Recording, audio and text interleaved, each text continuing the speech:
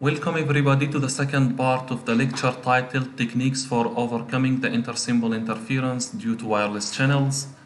In the first part of the lecture, we talked about equalization and OFDM. In this part, we will talk about spread spectrum and other techniques as well that are related to the, uh, to the subject of, inter of interference in general. So spread spectrum is a technique that's used by mm, 3G wireless systems like WCDMA and others. And basically, it increases your signal bandwidth. Whatever, it increases your signal bandwidth in such a way that it spreads the modulated signal over wider bandwidth. And by reducing the symbol time of your transmitted signal, the bandwidth will be very large and it becomes lower than the noise level even. So it mitigates intersymbol interference by coherently combining multipath components because the bandwidth now uh, you have short symbol time, you have multiple paths, you have high resolution, and you can utilize this to improve your system performance by having multipath diversity and combining the signal energy coming from all these multipaths. So also it reduces the intersymbol interference by spreading the multipath. When the multipath is not spread is so significant above the noise level. When you spread it becomes under the noise level. We will see in figures now, visualization, how it happens. It hides the signal below noise, as I just said, by, the, by using the technique called direct sequence spread spectrum, or, make it, or makes it hard to track by using frequency hopping. Frequency hopping keeps hopping from frequency to another, so it's very hard to track, and you average the interference. If there is an interference on a specific frequency, you don't stay locked to that frequency or using it for a long period of time. You just use it for a fraction of seconds. So you get affected by noise little. On average, you reduce the effect of the interference. And uh, for uh, direct sequence spread spectrum allows you to have your signal below the noise. So nobody can know that you are doing a communication unless you know the code that was used by the transmitter and use it at the receiver side and decode your your signal. So this is one of the techniques that's used by military to hide their communication. Hide their communication, nobody can know they are communicating with each other. And the second, avoid interference. Since your signal is not known, not seen, does not nobody knows at which frequency, interference is it's immune to interference, robust to interference. Also used as a multiple access techniques where multiple users are allocated different codes and these codes are orthogonal to each other. So each user used the whole bandwidth, whole time, but has a unique code that he can use to Uh, spread his signal. And the other user has a different code. Now, different code is orthogonal to the first code. When they get on top of each other, they are orthogonal, they don't cause interference. Each user receive all these composite signals. And by using his own code, he can get his own signal only. Does not give, although the signal contains the other user signals, but you don't get it. There are two types for uh, doing spread spectrum frequency hopping, narrowband signal hopped over wide bandwidth. This is used in GSM 2G systems and direct sequence used in, in WCDMA, which is 3G. Modulated signal multiplied by faster chip sequence. Why? To increase the bandwidth of the signal more than you need, and then the symbol duration shrinks, and you your bandwidth you spread it to a level that its power becomes so little, so low everybody knows that your signal, this is the signal of your, this is the power of your signal at a certain bandwidth, yes? If you increase the bandwidth and use the same power, what will happen to the power? Comes like this, yes, because you are using more bandwidth. If you increase more, your signal becomes like this, because the power is confined fix the quantity. Increase the power, the bandwidth more, the power distributes on the whole bandwidth. Yes, increase the bandwidth yes. so that the frequency will be low. If you increase the bandwidth, the frequency will be It will be low. There's will it's uh, no, it will not affect the frequency. The the amplitude, the power of your signal will be low. But the of the bandwidth. uh, This is the bandwidth. This is the bandwidth. The bandwidth is this. The power is this. The band, the power of your signal will be very low, below the noise level. But the frequency is the same. Same frequency, same. You are using the same, the whole bandwidth of your system. Originally, the bandwidth is this. After you spread, the bandwidth becomes this. After you spread. So this is what happens. This is your information bit sequence. This is the purple one. This is your data ones, 1 minus 1, 1, 1 minus 1. This is the data corresponding to 1, 0, 1, 0, 1, 0, something. And this we call it S of t, which is the signal, the information signal you are transmitting. The data rate, eh, is, this is the shape of your signal. Now you multiply it by chip sequence. This chip sequence changes faster than the, the message information. So th- these, as you can see, within this whole duration, just one change for S of t, while for SC of t, there are many changes, like 10 changes within this duration. These changes, as if you are reducing the symbol time and the bandwidth will increase. So if I tell you draw the frequency spectrum of S of t, the message is this, this, the blue one. It draw the frequency spectrum of the spreading code, chip code we call it, CS of t, it's this purple one. Draw the multiplication of both signals, it's this, the green one. As you can see, the signal was originally like this. After you multiply it by the chip sequence, it spreads and the power reduces. And this scales with the with the chip sequence. The faster the chip sequence, the more spreading you will get in your channel. Spreads bandwidth by large factor, G.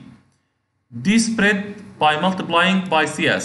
As just like using I50 and D50. At the transmitter here, you use spreading sequence. At the receiver, you use the spreading sequence more, one more time to get your signal back to its original form.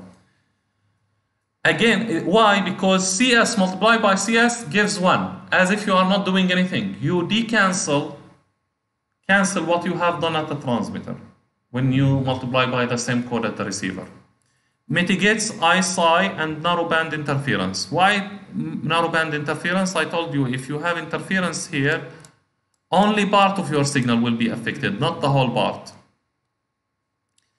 Narrowband interference rejection. How does this happen? You have your information signal, you multiply it by the chip sequence, you get the green one.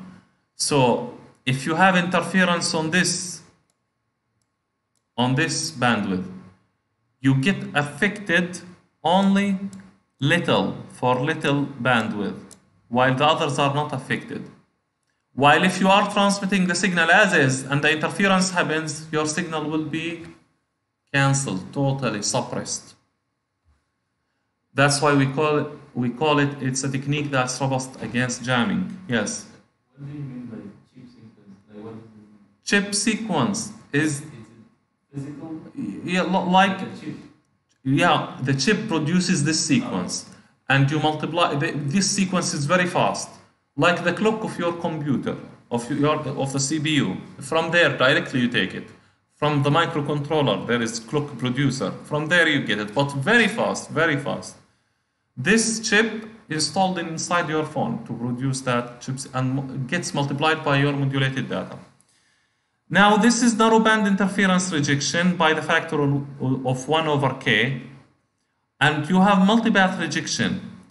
Multipath rejection, you have your signal here and you transmit it after spreading, you get multiple paths, yes?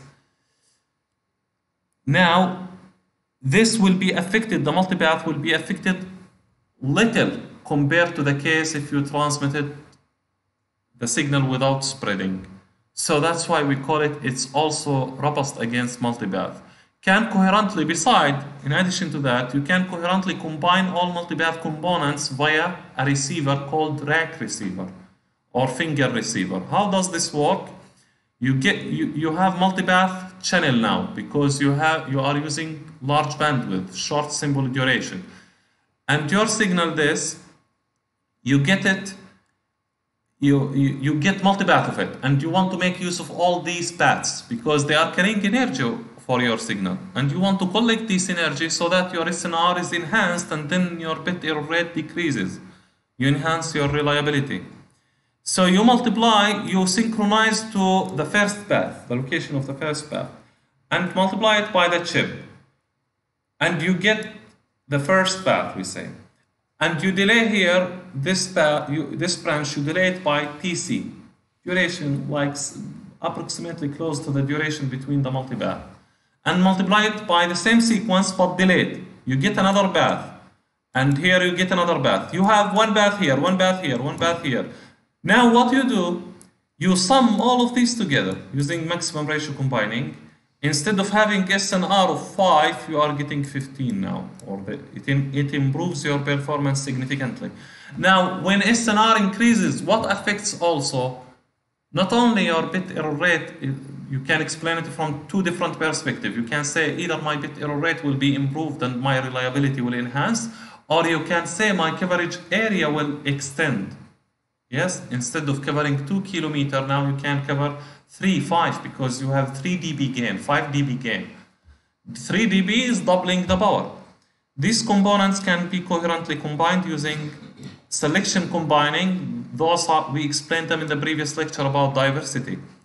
Selection combining, maximum ratio combining, equal gain combining.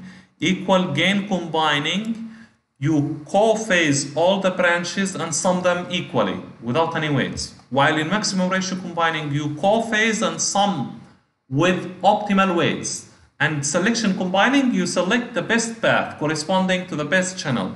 Which one performs the better? MRC, then EGC, then SC. This is how they are. One, two, three, if you were to rank them based on the performance. Now, this is what this is uh, spread the spectrum and the things that I want you to know about spread the spectrum. Now, in real wireless systems, we don't have single input, single output. We don't have only one transmitter and one receiver. We have multiple users communicating with the base station, and the base station is communicating with multiple users. So we have two types of channels. We have uplink channel, the transmitter, the, the transmitter sending information to the base station receiver simultaneously, all of them together. And we have downlink channel where the receiver, the transmitter is talking to the receivers. The downlink channel, we call it broadcast channel. One transmitter talking to one receiver. The uplink channel, we call it multi-access channel, where many receivers talking to one receiver. The job of the receiver in this case to cancel these signals, separate them, and decode each user data separately, so that I understand how to do, how to, where to forward it, what to do with it. The job of the receiver here in the downlink channel is to get the composite signal, to get his own signal from the composite signal that contains the signal of all users. Uplink and downlink typically duplexed in time or frequency. You, you synchronize it in time or frequency. For example, if the uplink is in frequency 1, the downlink should be in frequency 2. If the uplink in time 1, the downlink should be in time 2 because otherwise you would have interference between uplink and downlink. It's enough the interference that we are having because of multiple users. Also interference because of downlink and uplink, you cannot handle it. It's the, and this edge is the channel affecting your received signal. In 5G, full duplex radios are being considered. Full duplex means the transmitter and receive simultaneously at the same time, same frequency. But this has many issues actually and difficult to design the transceiver structure. That's why usually they are stick to duplexing in time and the frequency. Like in time, we call it time division duplexing, TDD. You have heard of this name, TDD, time division duplexing, or FDD, frequency division duplexing. Now, when you talk to your friend via phone, you don't hear, you, you don't feel this, that each one of you is way. In time division duplexing, we are giving you one millisecond and your friend one millisecond, one millisecond, one millisecond. Now, because your hearing sensitivity is less than one millisecond, you don't feel it. Like the video framing, we are uh, we are showing you 32 frames per second. Your eye resolution cannot feel this flickering. The the light, the LED, the LED usually modulates the light some very quickly. Your eye cannot see. For example, we can now with, visible light communication, you, you can get your data from the light. We are modulating the light very quickly, so fast that your eye cannot recognize it. So if you can do such thing, it's acceptable also. How to share the band within multiple uh, multiple access schemes? We have different techniques. Now all these, the goal here is to divide the resources according to the user's needs or the application's needs or requirements. So you have many techniques to do that. Either you divide the, the time resources, you get you allow the users to get all the frequency and you divide in time between them like it like in telephone in telephony system. Also GSM, but GSM uses time division and frequency division. You divides the frequency and divides the time. How it divides the frequency says that the first 10 user they will use frequency f1 let's say 900 megahertz. Within this frequency there, there will be 8 time slots. Each user can be locked one time slot and this keeps switching between them. This millisecond i take the sample from this user. This second i take the sample from the next user. Next next quickly you don't feel the delay we have code division multiplexing also. Code division multiplexing says take the users, all the users, take whole time, whole bandwidth, but each user is assigned a specific code. Code cross correlation dictates interference. For uh, now, there is a problem here. You can use this to a limit. Why? Because of the cross correlation between the codes that you assign to the users interference keeps adding on, adding on, adding on to a limit. Then after that limit, you cannot use any more codes. That's why this system is limited. Theoretically, you can say that this can serve infinity number of users, but th- practically this is not the case because interference is usually correlated, cross correlation. There's cross, although the code designed to be orthogonal, but when they pass through the channel and this, you will see that there is kind of correlation between them. And this correlation increases interference between the users and as the number of codes increases the interference increases and your system becomes saturated means you cannot add any more codes which reflects to the fact that you cannot add any more users to your system. If it was working properly we didn't then we didn't need to go for 4g and invent ofdm space division space division we we assign each user to a beam. And this beam is very narrow that it cannot interfere it cannot cause interference to the other beams. Like this user you assign this beam this user you assign this beam. What's the problem with this technique? The problem when you have many users high density of users in a certain location the beams you assign to the users will leak to each other, will interfere and cause interference. So this solution also has some drawbacks. Each solution has some benefits and some demerits. But usually there is also hybrid schemes that are used, like in OFDM we use hybrid. We use time with frequency combined with overlapping. In CD in 3G we used code space is also uh, used in 4G and 4G plus. We are using in in no in 5G for example they proposed using non-orthogonal code NOMA non-orthogonal multiple access. They they assign the they assign the the signals of the users to be super superimposed on top of each other. And send them to the user. More efficient. You use more whole bandwidth, whole time, and you just superimpose on top of each other. And the- no codes that are orthogonal to each other in this case. But also it has some limitation and the drawback. So whenever you invent or come up with a new thing, you will have some benefits, but also you will have some drawbacks. So the goal here after you come up with something is maximize this benefit as much as you can and try to handle and mitigate the other uh, problems associated with this technique. Now, what about th- these techniques are, we call them scheduled multiple access schemes. Scheduled means there is a coordinator base station that coordinates. You, user one should be allocated two time slots, one frequency. User two, because he's using video, should be allocated three, four time slots and two frequencies. User three should be allocated frequency number six with time slots number 12, 13, 16. This is what scheduling in multiple access schemes. So the base station keeps synchronizing these things. While this, in networks where we have multiple users, like Internet of Things systems or Wi-Fi, you cannot keep handling this because it causes signaling overhead. You keep communicating, handshaking with the receiver. You take these resources, now you take these resources, now leave these resources. Too, too much communication happening between the transmitter and receiver. This burdens the network and reduces its efficiency. So in scheduled multiple access, channels are assigned by a centralized controller. The base station talks to all the users. It requires a central controller guarantees high quality of service by avoiding collision, make sure why, why I'm doing all these communications with the users?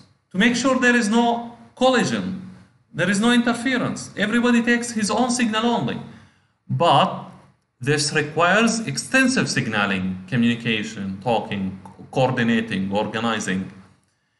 So that's why this kind, this type of multiple access is considered considered inefficient in certain scenarios, especially for the case for the scenarios where you have short and or infrequent data transmission, like sensing. You have sensor, you don't know when the sensor will send data, and this data is short, not much. So you cannot allocate resources and this for random, sporadic uh, nature of channel access. So that's why we sometimes need to use random access. Users access channel randomly without coordination, without synchronization. There is no controller to manage this. When they have data to send, they just quickly send. Give me example on this. The network, the data, uh, computer networks work like this without scheduling. Yes? What, what do you do in uh, data network? You have collision, then backup, window, then wait for some time and resend your packet. Yes? Yes, isn't it? In Wi-Fi network, you are using the same random access. We have example on random access slotted Aloha and Aloha. Aloha send packet whenever data is available. No synchronization. When I have data, I just throw it, send it through the network. Now, a collision occurs for any partial overlap, like you transmit your signal here, and the other user transmitted after half second from your transmission, and you haven't finished your transmission, you will have overlap, partial overlap. This causes interference. Packets received in error are retransmitted one more time. So you, you transmit your data through the network, yes, and you wait for an ACK. If you don't receive this ACK within certain period of time, this means that you, your packet didn't reach the receiver. You retransmit the packet one more time after random time. You keep retransmitting until you reach certain threshold in terms of latency or until the reception is successful. Slotted Aloha, instead of making this you transmit at any time, they fixed the they they uh, they organized the transmission in such a way that you are allowed to transmit in certain in slots, not at any time at slots at the beginning of each slots. So if an interference happens, the interference will be fully overlapped. So you will only retransmit your signal when there is fully overlap interference. Same as Aloha, but with packet slotting. packet sent during prede- predefined time slots. A collision occurs when packets overlap, but there is no partial overlap like the case of Aloha. Packets received in error are retransmitted after random delay interval. Actually, this Aloha and slotted Aloha, they were in, in university. I don't know the name of the university the students were able to come up with this, and it was breakthrough. How to allow many users to communicate over the network. That was really something uh, groundbreaking at that time. From that time, computer networks field and science started with this with these algorithms. You have pure aloha, slotted aloha, you have carrier sense multiple access, carrier sense multiple access, collision avoidance. You send the channel, you sense the channel between you be- before you transmit. If there is a signal, if there is energy in the signal in the channel, this means there is a transmission. I wait, back off, random window, back off. You remember there is a, in computer networks there is one two lectures dedicated to that process. So the main points that I want you to know about uh, multiple access and spread spectrum are summarized as follows. Spread spectrum increases signal, signal bandwidth above what you need for information transmission. The benefit of this technique is avoiding intersymbol interference or mitigating it and rejecting narrowband interference also used as a multi-user multi-access technique where you assign different codes to, to different users multiple access in multiple access techniques users can share the same spectrum via time or frequency or code or space you must have if you want them to avoid interference you must have a domain that separates them from each other this domain can be time, can be frequency, can be code, can be space, can be power, can be anything that you invent. But the most important thing that they don't interfere with each other. Random access is a method that's used when you have too many users accessing the network and, it, uh, and sending low data rates, so it's inefficient to keep communicating with them and asking them about their needs. So you allow them to access the network randomly, but the collision will be more here and the delay more, and the service is not guaranteed. But the good thing, you can serve more users. In 5G, they are studying now guaranteed access and uh, unguaranteed, or uh, what do they call it? Schedule free, no scheduling. You have data, you transmit it immediately because in 5G, one of the targets is to be able to serve Internet of Things devices, ultra reliable low latency. How can you have, how can you achieve low latency if you don't allow the user until you assign resources for him? Talk to him, shake hand with him, and then agree which resources you, you can give to this user. So this, these are the main points. Now let's talk a little bit about cellular system design. Now we up until now we talked uh, about single link communication and then we talked about uplink and downlink within a cell. But now the system is only is not only a link, is not only a cell, it's it's a geographical region where you want to serve million millions of users. So what do you do to serve millions of users? Previously, one time I gave you the example, I told you when the, when a company wants to build a telecommunication business, wireless communication co- business, like Turkcell, like Sprint, like any these carriers, any of these carriers. So the government assigned them, let's say, two megahertz of bandwidth, and tell them you can use this spectrum to serve your users. And I told you two, two megahertz. If each user is using uh, like video or um, applications that require large bandwidth. And let's say, just assume that each user requires quarter megahertz.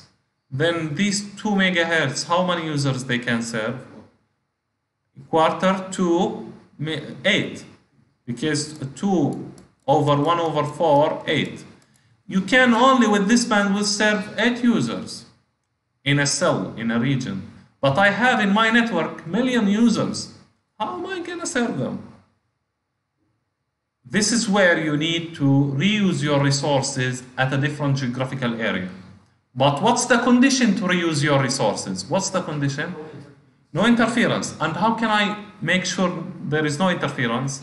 If I can kill my signal at this point, if I can put blocks here, if I can put walls where the signal cannot penetrate, but in practice I cannot do this. I can. This whole whole whole this whole region is divided into cells like this, virtual cells, and there is interference between them. You cannot avoid it. But the good thing that the signals decays, the signal amplitude decays as it travels with distance. So you assign the power of your signal at the transmitter in such a way that after one kilometer, it's below the threshold of your receiver. So you kill your signal exactly here by your design, by your intelligent design. Usually, you cannot kill it perfectly. Why? Because the environment changes. Sometimes there is a blockage, sometimes there is no blockage. That's why there is interference always at the edge of the cell. And we call it edge interference, cell edge interference. This is the worst position any user can be located at. Your data, here you get one meg, one giga. When you reach the edge, barely you can get one mega hardly. So to avoid, there are many techniques in the literature to avoid this problem. Try to improve the performance of cell edge users. And this always happen when you are crossing multiple cells. This is this is noise. This becomes noise after. Becomes interference, which is like treated like noise because you cannot cancel it. So, so the point here is how to optimize your power, redu- eh, allocate the frequencies to multiple cells in such a way that you minimize this interference. Now, the question is, the interference, this interference between cells, increases as you increase the cell size or decrease the cell size. As you, as you increase the cell size, your signal decays fast, less interference. But when you, when you increase the cell size, You need more power. you need more power, and if you have more users, the bandwidth will not be enough for them. So this trade-off is killing our design systems. That's why there is a trade-off between the maximum capacity you can achieve with the bandwidth that you are assigned, that you are given by the government, and the interference between the cells. So engineers are striving always, always to try to balance these two factors.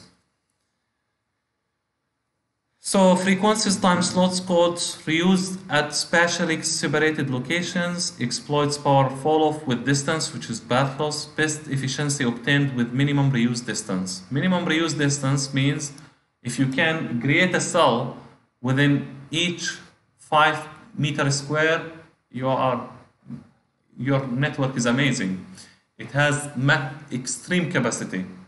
But what's the problem? You need more base station, more installation, more equipment, and you increase the interference because your signal does not decay very fast when your cell is small. To avoid that, you reduce the power and you use antenna tilting where the antenna is not like this, is like this, just on top of the users where the signal penetrates on, into the ground and if it gets reflected, reflected to the sky does not affect any other user around the area. Antenna tilting and power reduction. So that's why the power of femtocells, there are, let's see, Wi-Fi access point inside your building. There is femtocells for uh, inside buildings by the carrier. These femtocells, they have low power to avoid interference, but they can serve more users.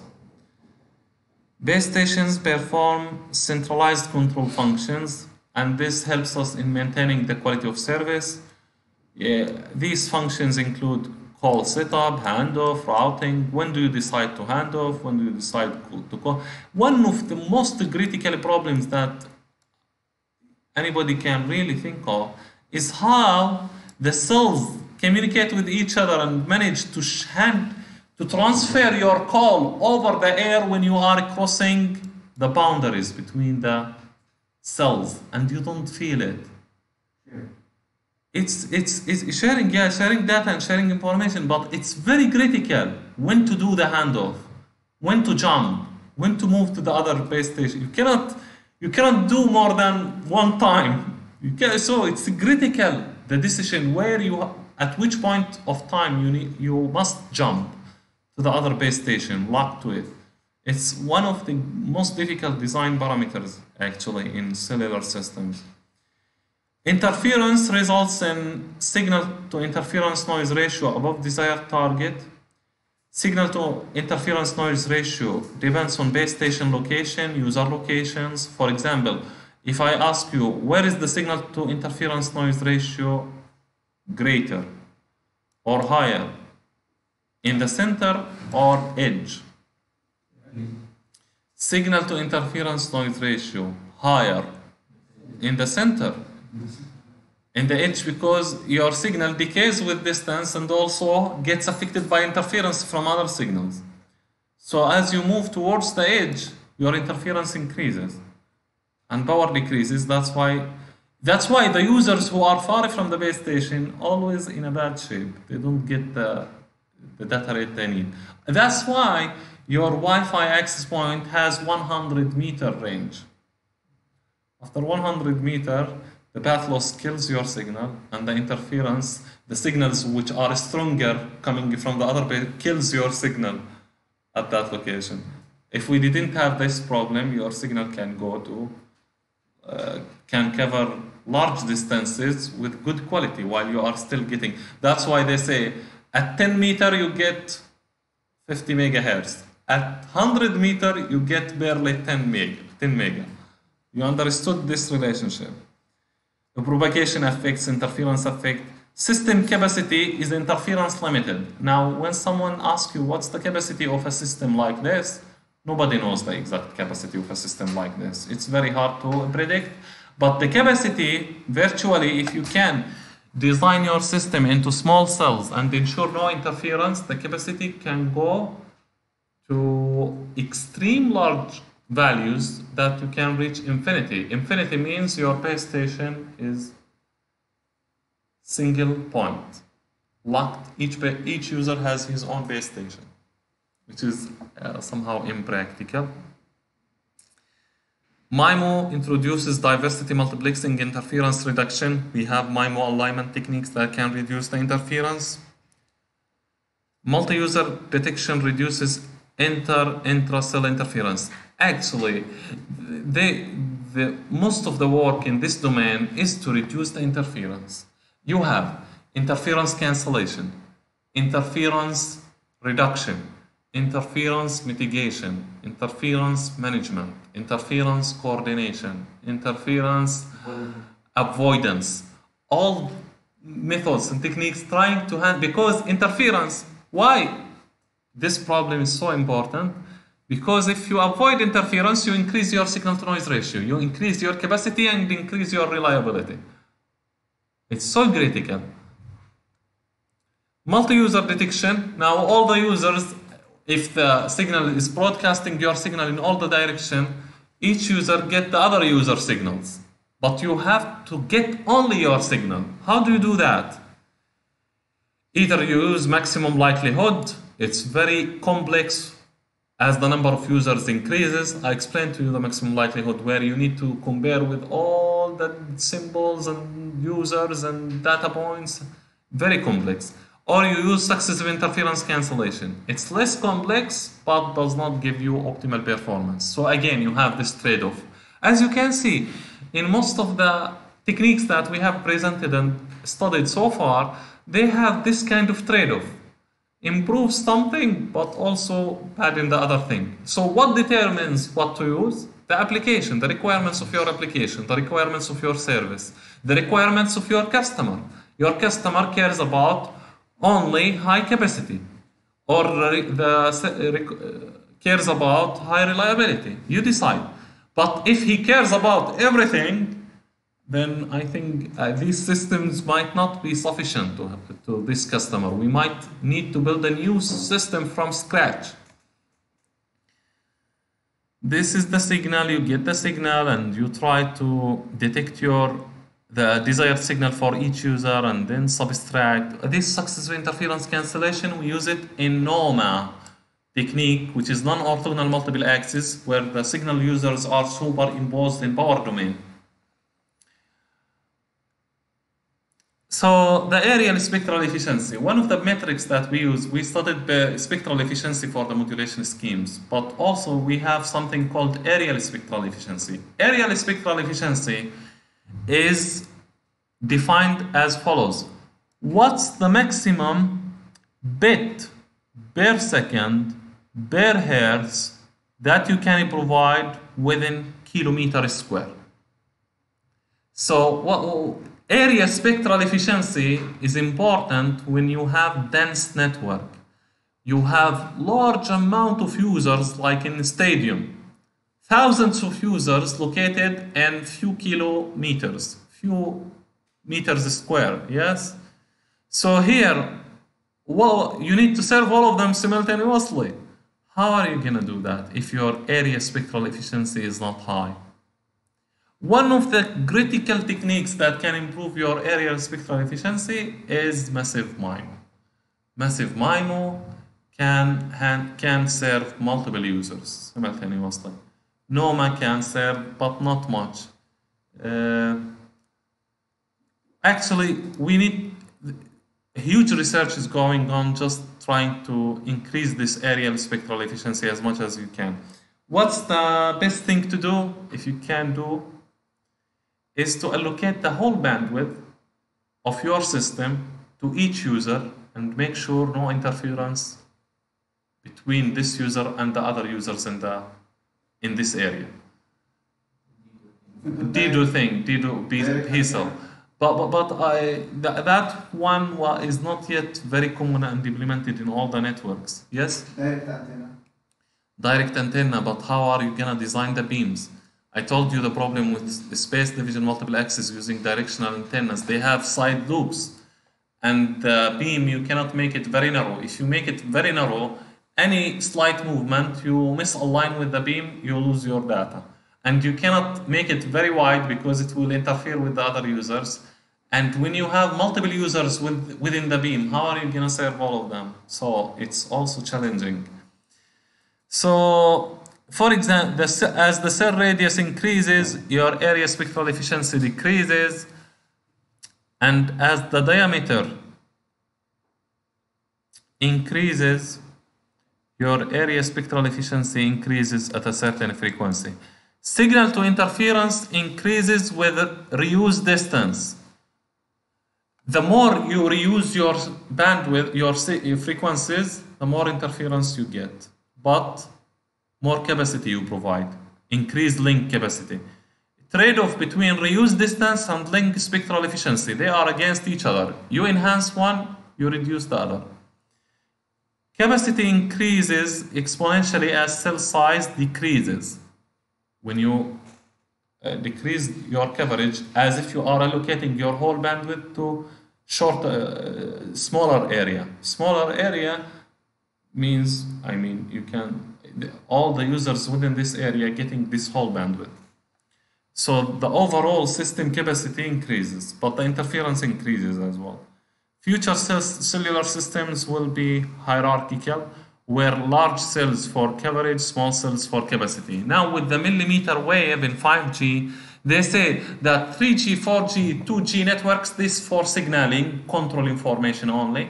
And your data, your traffic must go through millimeter wave frequency, 60 gigahertz and so.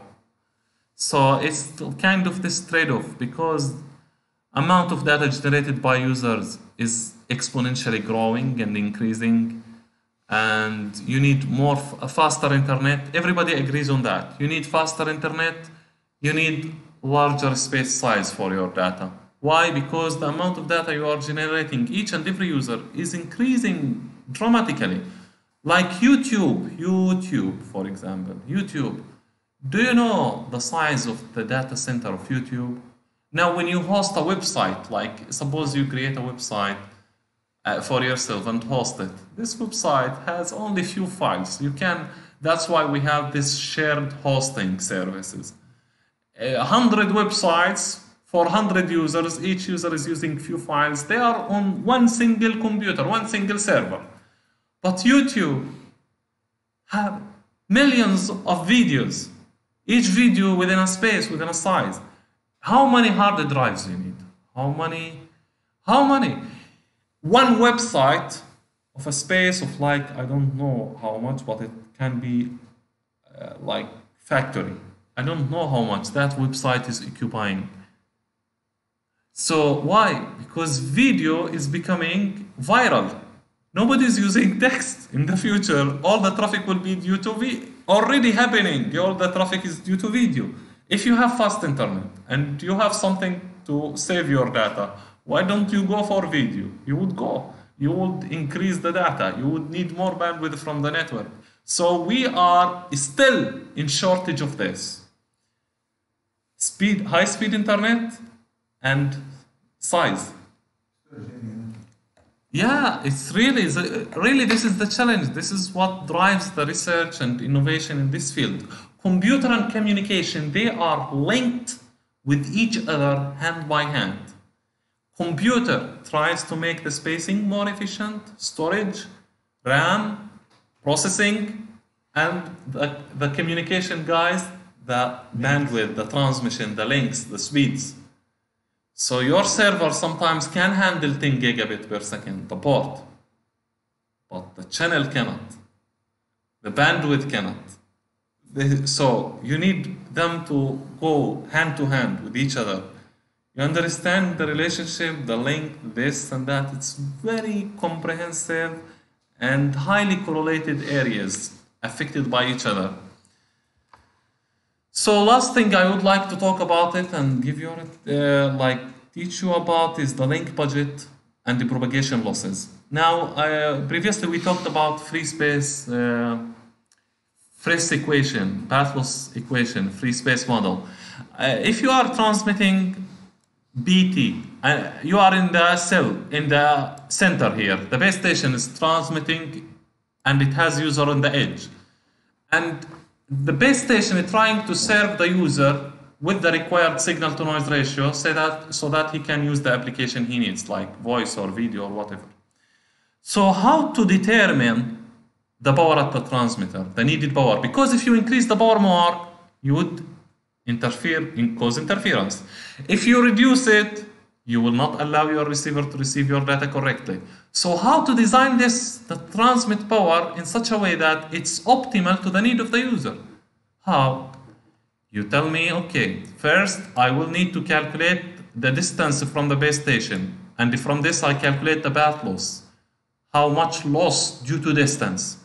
And then you tell me how many buildings on the way and then i calculate the shadowing the loss due to shadowing i call the loss due to path loss lb the loss due to shadowing ls shadow and also tell me I want to estimate how fast the channel is changing, the fast fading ups and downs. And I call this fast fading margin, LF, due to fading.